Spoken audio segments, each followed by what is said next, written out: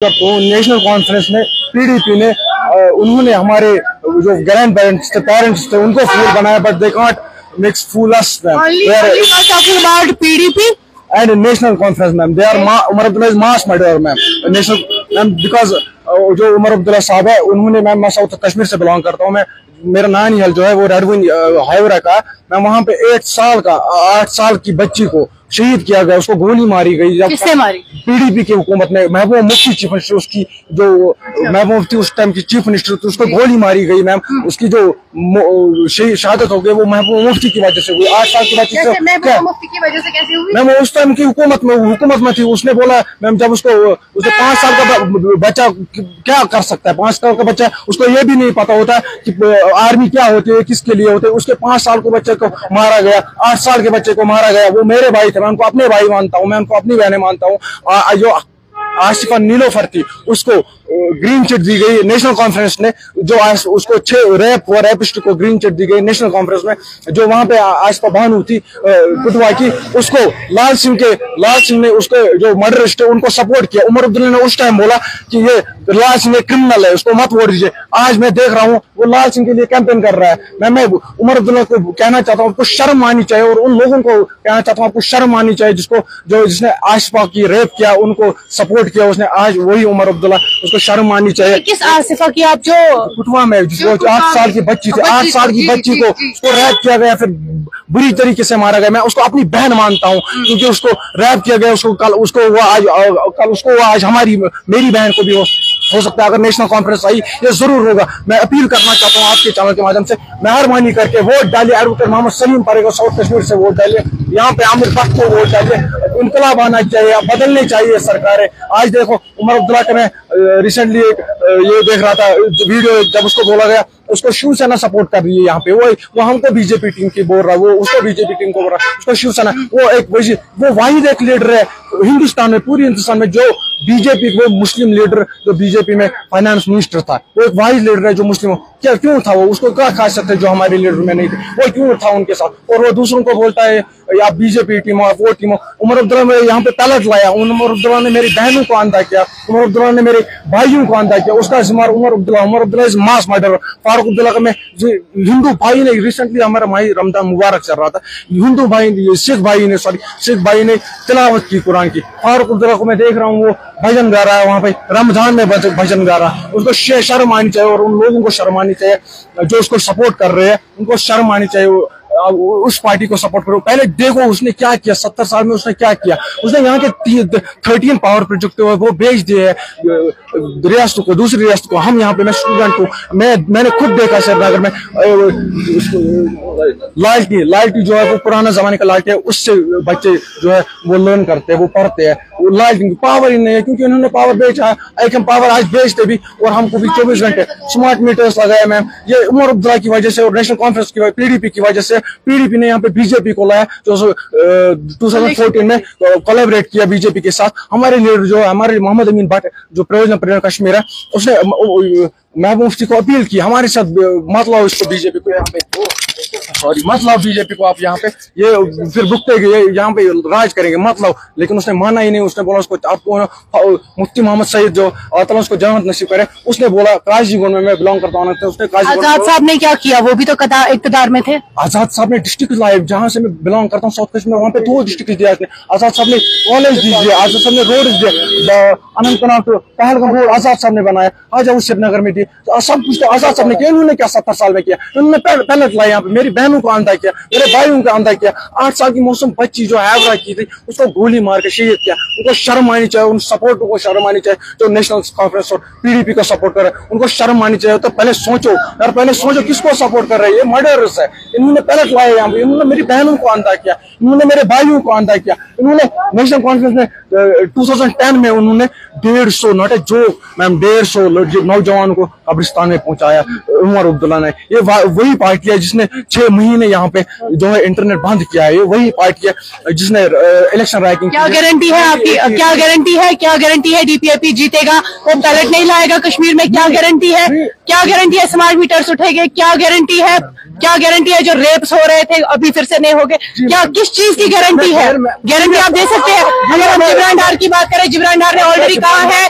जिब्रान डार ने ऑलरेडी कहा है मैं लिख के दूँगा। आपकी डीपीएपी ने आपका आज़ाद साहब जो था वो भी कदार में था, था उन्होंने क्या किया? उसकी जो पार्टी है जिब्रान डार की वो पीडीपी के यहाँ पे जिब्रान डार बोलता है मैं पीडीपी के डायनेस्टिक पॉलिटिक्स से रूल कर रहे हैं मैं पीडीपी के खिलाफ हूँ। लेकिन मैंने जब रिसेंटली देखा उसकी पार्टी सपोर्ट कर रही है पीडीपी को अनंतनाग में। उसकी पार्टी जिब्रान डार की कौन सी पार्टी? अपनी पार्टी। नहीं उसको- उसको वो नहीं है अपनी पार्टी में। वो उसने इंडिपेंडेंट लड़ा होगा यहाँ से बट वो अपनी पार्टी में था उसने सपोर्ट बोला हुआ, मैं अपनी पार्टी का कार्य करता हूँ। उसकी पार्टी अनंतनाग में बीजेपी पीडीपी को सपोर्ट कर रही है और फारूक अब्दुल्ला ने रिसेंटली बोला कि अगर मैं इकतदार में आपका मैं ये आप जब मैं आगे पहुंचूँगा अगर बीजेपी चाहेगी तो मैं मैं वेलकम करता हूँ बीजेपी को मैं ज्वाइन करूँगा। फिर से फिर से कहे क्या बोला फारूक अब्दुल्ला ने रिसेंटली इंटरव्यू में कहा बड़ी चैनल हिंदुस्तान के इंडिया टुडे में कहा कि मेरे को कोई गिला नहीं है बीजेपी के से अगर वो चाहे मैं कोलाबरेट कर सकता हूँ आगे बीजेपी जी हिट जी अभी बीजेपी ज्वाइन कर सकता हूँ आगे। मैं आपको प्रूफ भी दिखाऊँ। उमर अब्दुल्ला का जो सानस है, जहाँ पे वो नमाज़ पढ़ रहे हैं, दरगाह में तो वहाँ पे दहली में वो फ़सल गा रहे हैं, वहाँ पे वो मंदिर जा रहे हैं।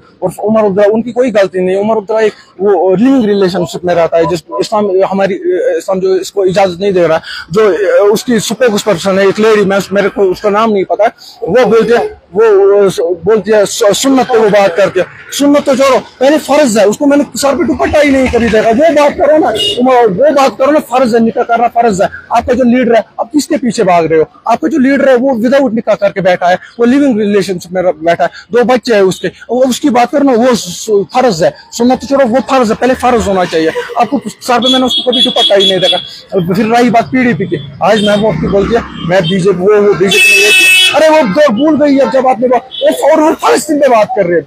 वो फलस्तीन पे, वो लीडर फलस्तीन पे बात करे जिसने पाँच साल के यहाँ पे बच्चे को शहीद किया गया। पाँच साल के बच्चे को आठ साल के बच्चे को शहीद किया। जब मीडिया पर्सन ने क्वेश्चन पूछे उसको, आपने आठ साल के बच्चों को शहीद क्यों किया? पाँच साल के बच्चों को दूध लेने गए? ये कोई वर्ड्स होते हैं दूध लेने गए टॉफी लेने गए आप वहाँ पे टॉफी लेने गए थे पाँच साल का आप ही मुझे बोलो पाँच साल का बच्चा कहाँ जाएगा? पाँच साल को बच्चे क्या पता होगा पत्थर क्या है ये एनकाउंटर्स क्या है आर्मी क्यों यहाँ पे? पाँच साल को बच्चे को इतनी नॉलेज नहीं है। उन्होंने हमारे पेरेंट्स को फूल बनाया है सत्तर साल में। उन्होंने हमारे ग्रैंड पेरेंट्स को फूल बनाया सत्तर साल में। अब हम नहीं देंगे हम एजुकेटेड यूथ है हम नहीं देंगे अब ये करने। हमको पता है किसने क्या किया किसने नहीं किया। डीपीएपी का मैनिफेस्टो क्या है? जो डीपीएपी का मैनिफेस्टो ये है। अगर इंशाल्लाह गुलाम नबी आज़ाद साहब इत्यादर में आया, जो यहाँ की तीन सौ सत्तर हटा, वो नहीं रोक सकते हम, लेकिन जो यहाँ, वो बाहर के रियासतों यहाँ पे लैंड खरीद रहे हैं, बाहर के रियासतों यहाँ पे जॉब्स कर रहे हैं, वो हम रोक सकते हैं, हम कानून पास करेंगे, उसके लिए। आप मुझे दिखाओ ना, किस लीडर ने तीन एम भेजे थे साउथ कश्मीर से हसनैन मसूदी साहब एम मैंने उसको कभी देखा ही नहीं। मैं परसों बोल रहा था एक लड़के को तेरे को पता यहाँ का एमपी कौन है? कौन? मैं हंसता हूँ, तुम वो कौन है? मैं उस कभी किसी ने देखा ही नहीं उसको कभी ना सोशल मीडिया पे देखा ना उसने देखा किसी ने नहीं देखा पार्लियामेंट में उसको बोला ही नहीं। तीन सौ सत्तर हमें जवाब चाहिए ना अब दो अगस्त क्या करने गए प्राइम मिनिस्टर से मिलने? पाँच अगस्त को आर्टिकल हटा, अब दो अगस्त क्या? अब एक बार भी उमर अब्दुल्ला के नहीं निकला। एक गलत हुआ हमारे साथ तीन सौ सत्तर नहीं हटना चाहिए, तीन सौ सत्तर नहीं हटना चाहिए गलत हुआ। एक बार बताइए ना उमर अब्दुल्ला, क्यों नहीं बताते? चुप क्यों है? उन्होंने ये यहाँ से गए, हमें बाँध रखो, हम कश्मीरी कश्मीरी कौम को क्या मुँह देंगे? फिर हमें बाँध रखो, हमें जेलों में रखो, तब तक जब तक ये सारा इंसान खत्म होगा, अब हमें जेलों में रखो। Omar Abdullah is mass murder मैं मुफ्ती इज़ मास मर्डर उनको शर्म आनी चाहिए जो उनको वोट डाले जो जो लोग आपको देख रहे हैं धीरे से चले। जो लोग अभी आपको देख रहे हैं हमारे कश्मीरी भाई है कश्मीरी बहने हैं इनको निकालना है वोट देने के लिए। आप मुख्तसर सा एक एक कुछ इनको बताइए जिस वजह से वो डीपीएपी को वोट करे। जी मैं सिंपल बात बोलना चाहता हूँ। ज़्यादा वक्त नहीं रहा। सात मई को वहाँ पे साउथ कश्मीर और राजौरी में इलेक्शन है हो, हो रहा है। सात मई को आप मेहरबानी करके एडवोकेट मोहम्मद सलीम पर को वोट दीजिए बाल्टी को वोट दीजिए। क्योंकि आपने मैंने हमने देखा किस पार्लियामेंट मेंबर ने बोला तीन सौ सत्तर में? किस पार्लियामेंट मेंबर ने बोला? मुझे दिखाओ वहाँ कितने पार्लियामेंट पार्लियामेंट में इनके कितने मेंबर्स थे? इनके इनके पार्लियामेंट में दो मेंबर थे फारूक तीन मेंबर थे फारूक अब्दुल्ला भी था और और एक बात जो मैं भूल गया मैम इसमें सोफी साहब जो पार्लियामेंट मेंबर था जिसने उन मुझे बताया ना आपने कब बीजेपी के खिलाफ वोट डाला पार्लियामेंट में। एक बार एक लीडर ने एनसी ने बीजेपी के खिलाफ पार्लियामेंट में वो- वोट डाला उसको निकाला गया। हमें हमें बताओ उसको क्यों निकाला गया? वो तो पार्लियामेंट मेंबर उसने तो जीती से आपने उसको क्यों निकाला? आप बीजेपी से नफरत करते हैं या आप नेशनल कॉन्फ्रेंस से नफरत करते हैं? जी मैम मैं बताना चाहता हूँ आपको बीजेपी के आपको कौन लगता है मर्डर है बीजेपी या national conference? First first ours ours leader first first priority ours leader जिसने हमको जिसने यहाँ पे बीजेपी को लाया। बीजेपी कहाँ यहाँ पे इकतदार में आ सकती थी? अगर उसने पीडीपी ने नहीं लाया वो, उमर अब्दुल ने बीजेपी में रह के उसने इसको क्या कहते हैं मिनिस्ट्री की सेंट्रल मिनिस्ट्री की और रिसेंटली कहता है अगर अटल भाई वाजपेयी जी अगर ज़िंदा होते, मैं फिर से करता। वो वही अटल भाई वाजपेयी जी है, जिसने कहा था 370 हटाना मेरा खाब है, पैंतीस ए हटाना मेरा खाब है। वो वही लीडर है, और ये फिर से कहते हैं, हम, हमको कोई दिक्कत नहीं है, अगर हम बीजेपी के साथ जाएँगे, वो, और वो नेशनल कॉन्फ्रेंस और उमर अब्दुल्ला को शर्म आनी चाहिए, उनको शर्म आनी चाहिए, वो लाल सिंह को सपोर्ट कर रहे हैं उधमपुर में, वो सपोर्ट कर रहे हैं, वो वही लाल सिंह है। जब उस, जब आसपा बानू के साथ रेप हुआ, मैं आशपा बहनों को अपना, अपनी बहन मानता हूँ। आशपा को मैं अपनी बहन मानता हूँ, क्योंकि उसके साथ हुआ वो आठ साल की बच्ची थी। वो शर्म आनी चाहिए उनको। उनको उनको शर्म आनी चाहिए उन उन ब्लॉगिंग को भी शर्म आनी चाहिए जो नेशनल कॉन्फ्रेंस को सपोर्ट कर रहे हैं अभी। वो उनको आज पे को उनको आज पे याद नहीं है। उमर अब्दुल्ला ने क्या कहा था उस टाइम उमर अब्दुल्ला ने कहा था लाल सिंह क्रिमिनल है जो क्रिमिनल को सपोर्ट करेगा इंडियन कॉन्स्टिट्यूशन ये कहता है जो क्रिमिनल को सपोर्ट करेगा वो बराबर हकदार उनको सजा मिलना चाहिए। आज वही उमर अब्दुल्ला लाल सिंह के लिए कैंपेनिंग कर रहा है। थैंक यू वेरी मच नज़र मोहतरम। फ़िलहाल के लिए आपसे यही कहेगी की आपको ख्वाब दिखाने के लिए सब आएँगे। इस डीसी ऑफ़िस में बहुत सारे लोग आए, बहुत सारे लोग गए। आपको ख्वाब बहुत दिखाए जाएँगे। आपको ऐसे ख्वाब दिखाए जाएँगे जो कि कभी पूरे भी हो गए कभी नहीं। होगे भी, कुछ होगे, नहीं भी होगे, कुछ नहीं होगे। फ़िलहाल के लिए आप डिसाइड करें आपको वोट किसको डालना है। वोट आपको डालना है। घरों से आपको निकलना है। वोट की कीमत क्या है वो सबको पता है। मैंने इससे पहले भी कहा, आपको अभी भी मैं कह रही हूँ डीसी ऑफ़िस के बाहर खड़ी हूँ। इन लोगों से बात भी की है मैंने। मसला ये है कि अगर हम आज घरों से नहीं निकलेंगे, पहले हुरियत हुआ करती थी। हमें बोला जाता था बाइकआउट करे इलेक्शन को। लेकिन अब की बार हमने इलेक्शन के लिए निकलना इलेक्शन इन्होंने फॉर्म भरा है इलेक्शन के लिए लेकिन अब की बार ये हमारी हमारा फ़र्ज़ अव्वलीन फ़र्ज़ बन, बनता है। तरजीह दी जाएगी। पहली बात मैं आप लोगों को बोलती हूँ जहाँ जहाँ मैं जाती हूँ चाहे मैं आ, किसी आ, पब्लिक ग्रीवेंस में जाती हूँ या चाहे मैं किसी इस्लामिक इवेंट में जाती हूँ चाहे मैं उन लड़कियों के पास जाती हूँ जो कि दारुल में पढ़ती है। मैं सबको बोल रही हूँ अपने घरों से निकलना तब वोट कास्ट करना तब, क्योंकि एक एक वोट कीमती है। आपका वोट बिकना नहीं चाहिए, क्योंकि अगर आपका एक वोट किसी के लिए बिका, चलो जी, मैं फलाना जी, मेरा रिश्तेदार है, मैं इसको डालूँगा, चलिए जी, फलाने का दोस्त है, मैं उसको वोट डालूँगा, ऐसा बिल्कुल भी नहीं कीजिएगा, क्योंकि अगर आपने आज किसी को गलत, इंसान को, गलत शख्स को वोट डाला, कल को आपको भुगतना पड़ेगा।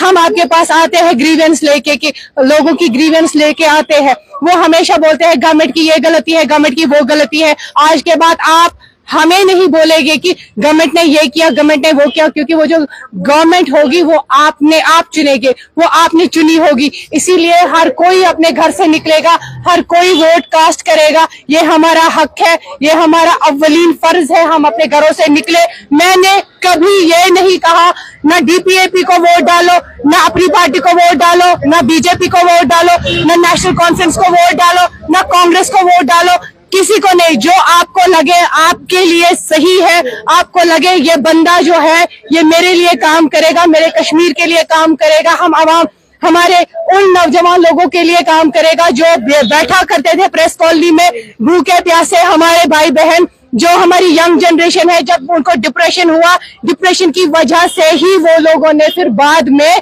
ड्रग्स लिया। तो यही वजह है आपको आज घरों से निकलना है आपको वोट कास्ट करना है। हम आपको ये नहीं कह रहे हैं कि हाँ हम किसी को नहीं पकड़े गए यहाँ पे। सर जी आप हमें बताएँ आपको वोट किसको डालना है? हाँ ये सीक्रेट है। तभी तो अगर आप कहीं पे जाते हैं वोट डालने के लिए वहाँ पे सारा सिस्टम बंद होता है।